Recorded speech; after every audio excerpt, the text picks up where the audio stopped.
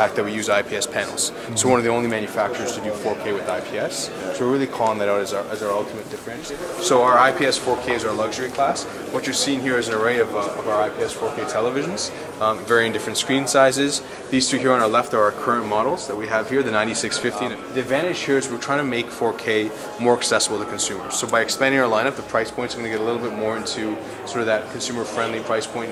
What's, what's the range right now? So really, we're looking to have um, 47 start as low as 17.99, mm-hmm. um, and our 55 inch, I believe, around the 23, 2400 dollar mark. So again, comparing where we launched 4K, which was you know a 20 thousand dollar 84 inch and like an 8 thousand dollar 65 inch, the price has come down to a level where we think more consumers are going to adopt it. The flagship is our 77 inch. It's our LG OLED TV with a 4K resolution. So it's kind of combining the best of both worlds. Uh, that 4K resolution and that stunning picture with OLED technology.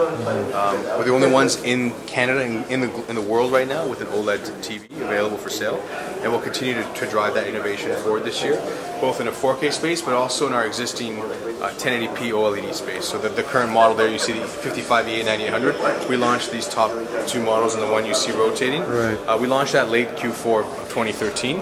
This is the the evolution, the involvement of that. It's adding our, our, our 4K into OLED TVs. And what is the pricing on this? So this one's uh, going to be around the thirty thousand dollar range. Yeah. I think around twenty six ninety nine or give or take. So it's curved OLED yeah. and 4K. It's, yeah, for